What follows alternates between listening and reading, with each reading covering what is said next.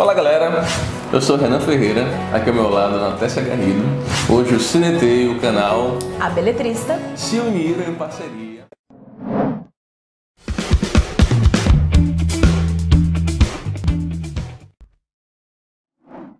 Para a gente produzir e dirigir também um vídeo muito especial sobre um livro chamado Americana.